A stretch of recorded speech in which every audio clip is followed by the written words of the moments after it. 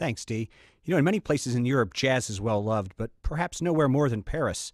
U.S. jazz players like Dexter Gordon, Art Taylor, Donald Byrd, and countless others moved there in the 50s and 60s, but Paris had a jazz scene before those giants arrived, and it had its own sound. Much of it created by guitarist Django Reinhardt and violinist Stéphane Grappelli and their quintet of the Hot Club of France. In the late 30s, that group merged the gypsy music of Reinhardt's youth with that of Charlie Parker, Duke Ellington, and Louis Armstrong. The Hot Club of France's driving swing lives on today with a group of musicians not from the City of Lights, but from the Motor City, where the Hot Club of Detroit is based. We are joined today by the members of the Hot Club of Detroit here in our KeyBank studio. And by the way, you can see this performance live right now if you check out our webcam at WCPN.org. Guitarist Evan Perry is the Hot Club's leader. Guys, thanks for coming. Thanks for having us, Dan. Evan, now anybody who's watching on the webcam can see that you guys are all young men. So how come you guys aren't out playing rock and roll? How did you get into this very traditional style of jazz? I actually did have a number of years of rock and roll under my belt, you know, but uh, you know, as time goes on, I guess you just always searching for something as a musician and an artist, and just happened to end up on Django. You know, it's interesting with Django Reinhardt. There are certain musicians that develop like an almost a cult that that they they people just love their work. And Reinhardt is one of those guys. There's Django Reinhardt festivals. I know you play them. What is it? What is the appeal there? You know, it's it's kind of it's kind of hard to describe. You know, gypsy jazz is very much so a cult, and a lot of the groups that play this music are very cult based, and they stick together kind of like a cult. Um, I think it more so in the jazz community, the straight ahead jazz community, you get you get a lot of situations where you'll have maybe like a, a leader or a soloist who's backed by a particular group. Um, and it, sometimes it's not as collective as you would like it to be. And what I find within gypsy jazz is is that collectiveness, people sticking together a little more. It's not just a leader; it's uh, everybody involved in this sound that that we call today gypsy jazz. Now, I have to ask you, I thought your father uh, told you not to play the guitar, that you wouldn't work. That's right, he did. what was that story? well, my father has been a, a, a pro- professional jazz musician his, his whole life since I grew up, uh, which is where I heard uh, a lot of the jazz that I know now today. Um, but, you know, it's, it's tough being a musician, and, and it was tough working in Detroit for a lot of years. And uh, I always had an interest in the guitar, and he said, don't play the guitar, play the bass. You'll always have a gig. Yeah. You know, because there's a lot of guitar players and uh, and not enough bass players. So I played the bass. I played the bass for probably eight, nine years. I played uh, upright in the orchestra, and then of course you get your teen years and you start rocking out and uh, you know skateboard, skateboarding girls and bass. You know that was my life when I was 13. but um, um, eventually, I just you know so much noodling around the house just really sparked my interest in the guitar, and I began playing when I was about 18 years old. Now it's interesting. Django Reinhardt created this very difficult style to master, and he did it. And I know a lot of our listeners have heard his music, but a lot of people don't realize he did it with a disabled hand. Yes. Which I'm sure you think to yourself, I'm doing this with two great hands. Uh, well, I got all my fingers, so yeah. why not use them? What, what is the story? Because a lot of people don't know that about Django. Well, the story goes uh, Django's wife had made him some flowers out of some type of paper material and uh, in, the, in their gypsy caravan they caught fire and they were both trapped in the fire. Django saved i think his, his wife and a couple of his cats before burning you know like half of his body pretty much. What happened was his left hand was fused together his pinky and his ring finger were attached to one another and you know they didn't have very advanced medical procedures back then for things like that so uh, they cut his fingers back apart so he could have the use of his pinky and third finger, but it didn't really work out as planned. Um, and ended up he had to develop this whole style of playing with his thumb and his first finger and his second finger. it really did make the big difference. I mean, that gives it a different style than any other kind of guitar player. It did, and it really pioneered a lot of guitar playing too. Because up until that point, you didn't see as much as much as symmetrical playing on the guitar, where you went from one end to the other rather than across the neck of the guitar. And he created a lot of a lot of I guess you could say patterns for for scales and arpeggios and things like that that uh, fit his handicap, but really at the same time revolution revolutionized how people played the guitar. We're joined today on Around Noon by the Hot Club of Detroit. They're playing at Nighttown tonight, 8 o'clock. We're talking with the leader of the band, Evan Perry, here on Around Noon on 90.3. We're going to ask you guys to play in a minute, but certainly those comparisons between the Hot Club of France, the quintet of the Hot Club of France and the Hot Club of Detroit are going to happen. You wouldn't shy away from those because at your core is gypsy jazz, but there are things that make your band different. And one of them is the difference in instrumentation. What did what did Django's band use and what do you traditionally use? Well, Django's band started off with three guitars, a bass, and a violinist. And that's the traditional uh, instrumentation for a, a hot club style group. Um, but you know, as Django got older, he didn't always use that instrumentation. He ditched the rhythm guitar and played with drums sometimes, and uh, added clarinet instead of the violin at times. Um, piano was in there as well.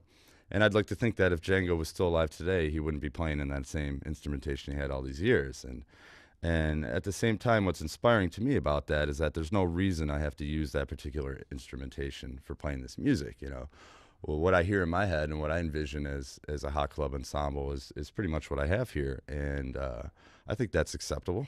Absolutely. Tell us what you, who you have here, and then we'll let you play. Well, we have on saxophone uh, from Detroit, Carl Cafagna, and hailing from Marseille, France, on accordion we have Julien Labro.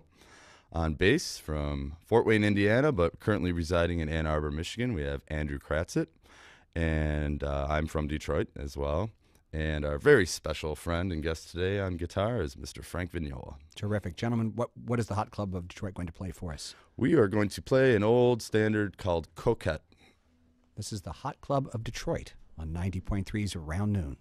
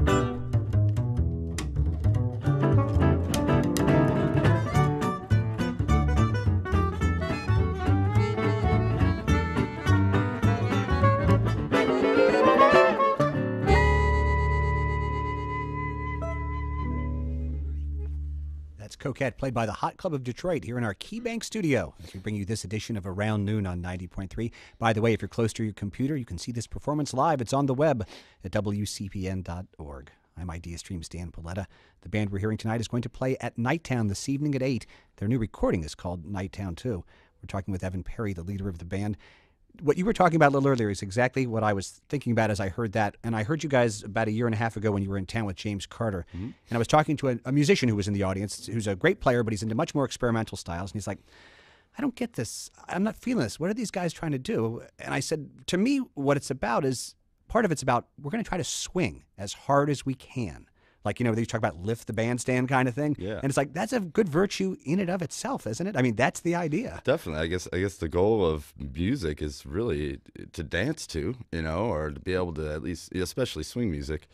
You know, if you can't tap your foot to it or right. get a groove going, then you something's kind of something's wrong, maybe. well, some, I just, you know, made me think of, exactly. It made me think of like the Basie band in the late '30s. I mean, the thing was about getting the groove going. Yeah, yeah, exactly. It's all about the groove.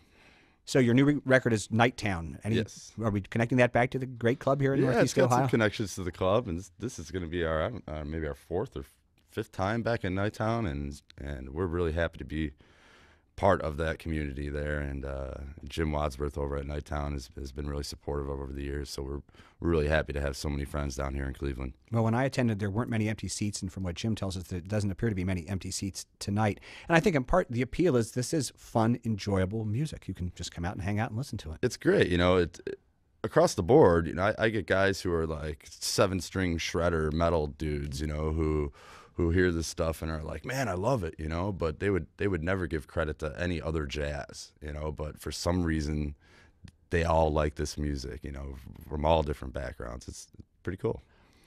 Did you approach this new recording, Nighttown, differently than your first one? Did you try anything different with this one? Uh, we we yeah, we we approached uh, in terms of uh, in terms of song choice and arrangement, and uh, the instrumentation is different. We added saxophone. Um, our first album has clarinet, and our second has sax, and we're pretty set in our ways with this with this instrumentation now.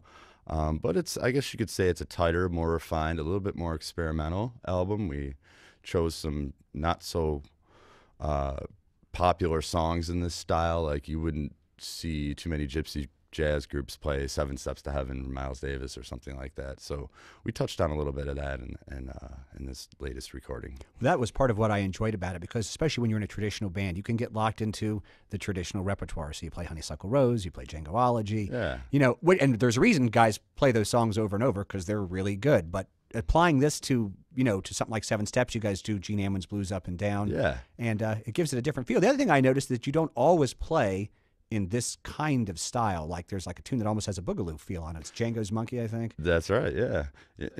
Yeah. um, you know, we, jazz is always about, I guess, to me, taking from the past and connecting it to the present. And and there's no reason why why people shouldn't be able to do that. I've always been a, a big fan of boogaloo New Orleans kind of grooves, so we thought, why not? You know. And um, yeah, just, does that answer that? It certainly does.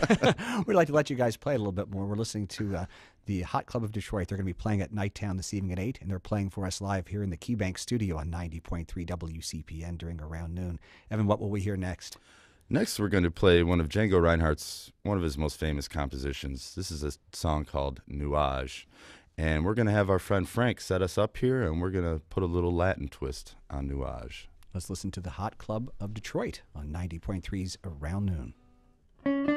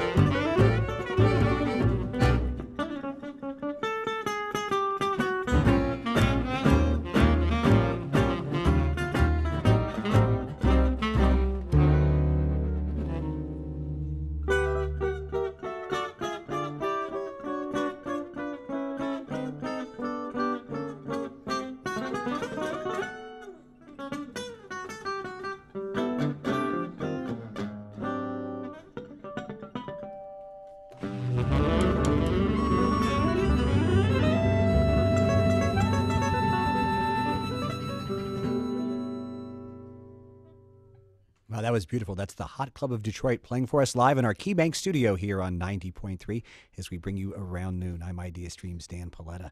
Uh, Evan, you brought a special guest with you, as you mentioned, Frank Vignola. Frank, I just have to quickly ask you two quick questions. When did you catch the Django bug? How long ago? Uh, let's see, 37 years ago, I caught the Django bug at the age of six. No kidding. My father is a uh, banjo player, and he always had uh, classic guitar recordings like Django and Les Paul and Bucky Pizzarelli. So I grew up with that music. And then, same story, teens, you rock and roll out and get into this crazy business and travel around the planet and get to play with great guys like this. It's Not- really a lot of fun to be together here. I don't think anybody would believe me when I said this is the first time you guys have played together. Isn't that right? That is correct, yes. Now, did you meet at a festival or?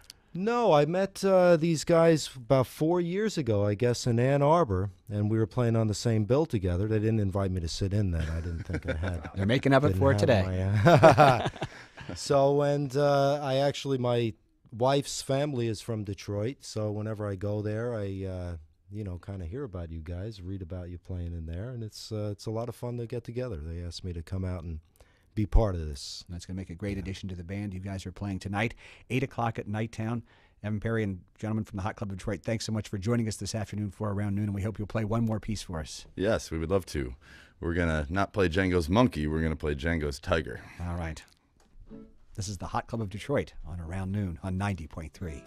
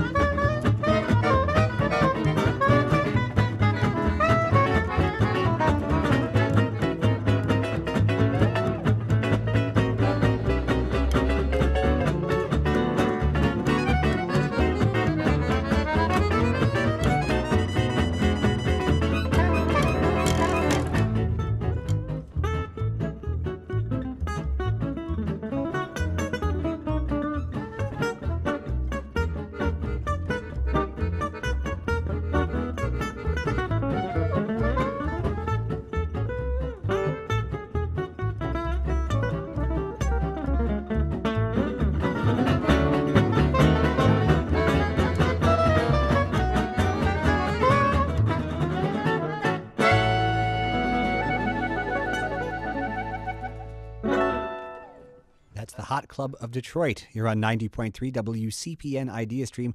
We're on the web. Our webcast continues for just a couple more minutes. So if you're joining us at WCPN.org, uh, that was terrific. That was Django's Tiger. Don't you wish you had the rights to a Tiger Rag? Somebody who has those is making a lot of yeah, money. Making a lot of money. That's a that's a famous. Yep. Yeah, really. Oh, is it public domain? Uh. that is a tune that so many pieces have been written around. Is that your uh, composition yourself?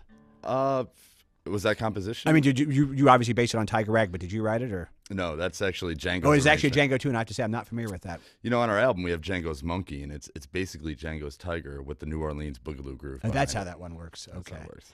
Now, from here, you play tonight at Nighttown, and then where are you off to tomorrow? And tomorrow, uh, we will be back in Detroit. Uh, once a year, we have a Django Reinhardt Festival in Detroit uh, that I started. Six. This will be our sixth year, and uh, it's not a huge festival. It's more of a grassroots, homegrown kind of thing, and just paying homage to Django and the music. And uh, we've started this kind of kind of craze around Detroit where people love to come love this music and we're one of the few bands around that do it so this gives them everyone an opportunity once a year to collectively get together and enjoy all this good music and we love to bring special guests to our festivals every year and and we're very lucky to have Frank with us this year and we're really looking forward to having some fun in Detroit tomorrow You mentioned that uh, you know when you play sometimes that you know guys who are like into thrash metal or whatever will really be into what you're doing.